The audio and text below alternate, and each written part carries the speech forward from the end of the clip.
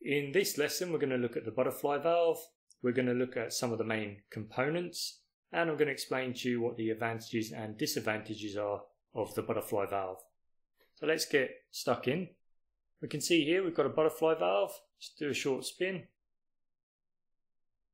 This butterfly valve is actually a electrically actuated valve. We can see that on the top here.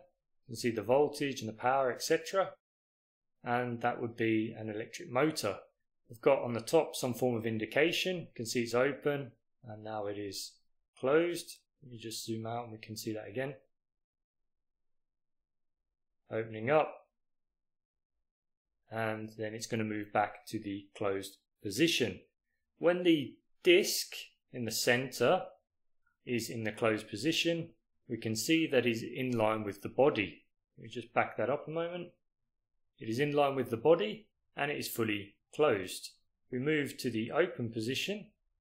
You can see it is now fully open and the disc is aligned perpendicular to the body. So that's essentially how the butterfly valve works. I'll just push play so we can see it going again. It's a relatively simple operation. This type of valve is a quarter turn valve, similar to the ball and plug type valves. That means it can be actuated relatively quickly, only requires 90 degrees of turn in order for it to move from the fully open to fully closed position.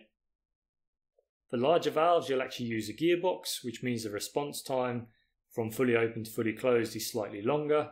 However, it does make it easier to actuate the valve because you're using a gearbox.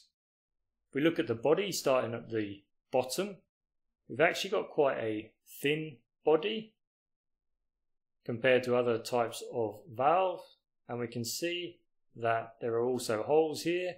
We would either screw bolts into this body and connect them directly onto flanges for a pipeline for example or we could pass bolts directly through and we would then couple the flanges to the butterfly valve.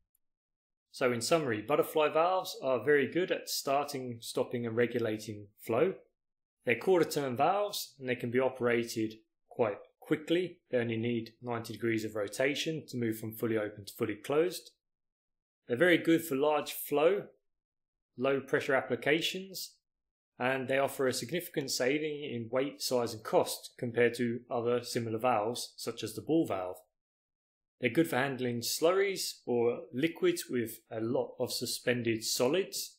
This is because the seating area is actually quite large the maintenance costs with this type of valve are actually quite low, and there are no spaces within the valve where pockets of gas can accumulate.